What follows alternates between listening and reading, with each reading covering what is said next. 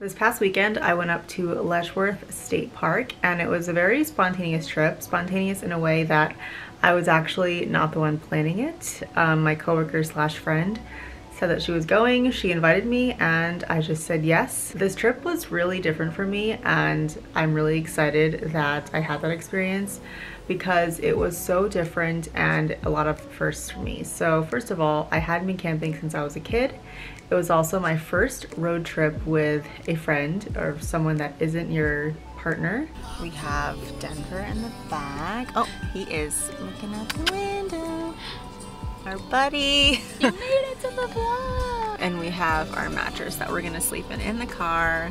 It's gonna rain tomorrow, so it'll be fine. Maybe. Yeah. A little bit. and along with going to a new place and exploring, I was really just excited to just get away and do something on my own without my husband because it's actually a rare occasion for me. Of course I love him and I want to do these things with him and we had been planning and trying to do this type of thing for a long time but it just so happened to work out that I got invited so I just decided to go. We're currently headed to a waterfall and I see it right now. It is down there. This was also my first time going to a state park that was on this scale. I had no idea that it was going to be so wonderfully organized as far as, you know, you don't have to do a bunch of walking to see all the beautiful sights. You can just drive your car and stop along the side. They have parking lots and you get out and you can take photos.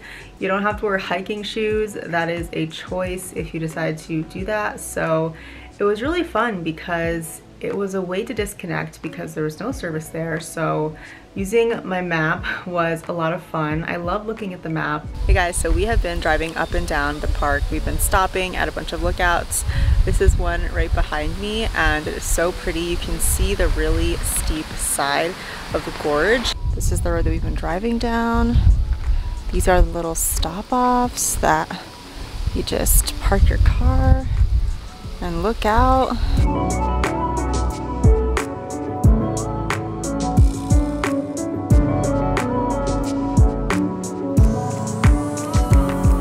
So we're in the woods. We're about to go on a little hike to see this really cool view. Apparently, little cat says this is the closest thing she's seen to the Grand Canyon as far as we can see through the trees. So very excited about this first little hike.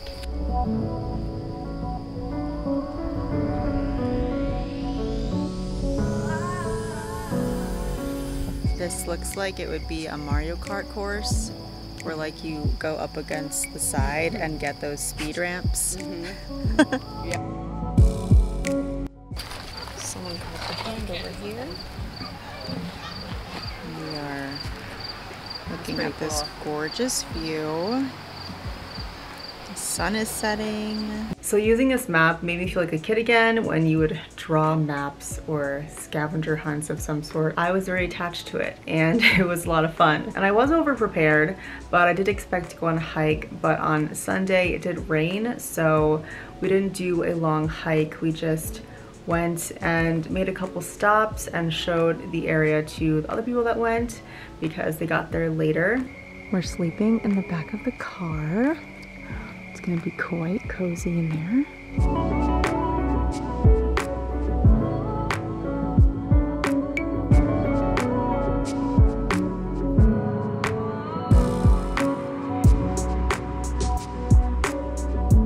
Morning guys, it is the next morning and we are about to try to get breakfast. We are at the Glen Iris Inn.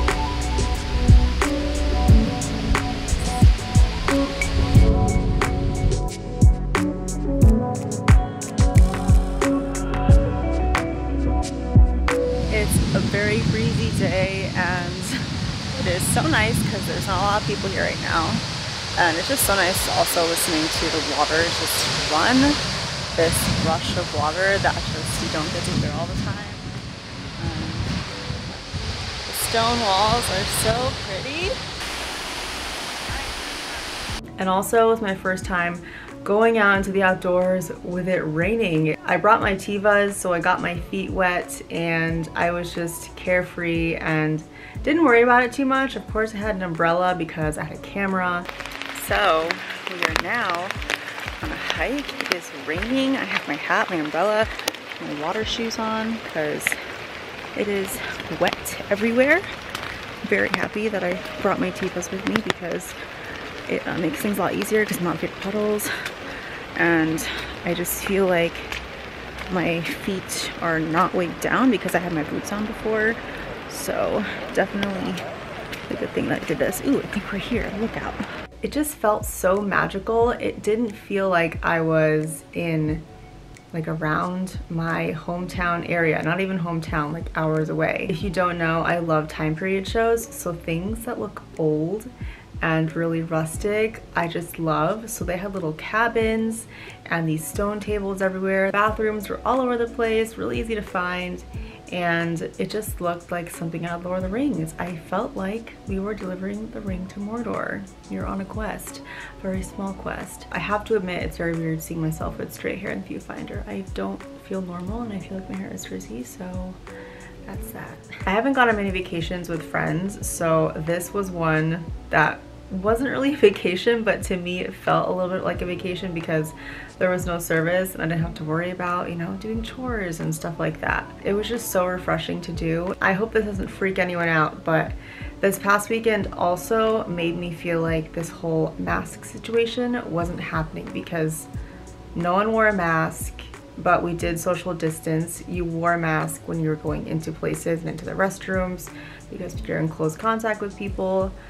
But yeah, there were people out wearing masks and that was, you know, of course fine, but it really made me feel like we weren't going through the situation that we are in right now and it just really made me feel grateful because now I'm home and we're back to that. And so I just wanted to share this experience with you guys because it's something that was just so different and it feels like a milestone to me because I've always daydreamed about going on vacations with friends and I haven't done that many of those at all, probably just one, not even a true vacation. And it just makes me feel like I've grown and I just wanted to share it in case, you know, anyone else is feeling this way, socially awkward, or feeling like like you don't add to situations or you know we've spent so much time alone that sometimes I know we can forget if people actually care or if they actually like us like all these negative thoughts in your head. It's all made up and I'm happy that I just said yes and did this because it just proved to myself that I can be social. So that's it for this video guys. Thank you for watching. I hope you enjoyed this little vlog. I know it was different and honestly I don't think I can live with straight hair because it's just weird and it's nice to see the length but it's a little puffy right now so maybe I'll see you with straight hair again maybe I won't thank you guys so much for watching and I'll see you in the next video Bye.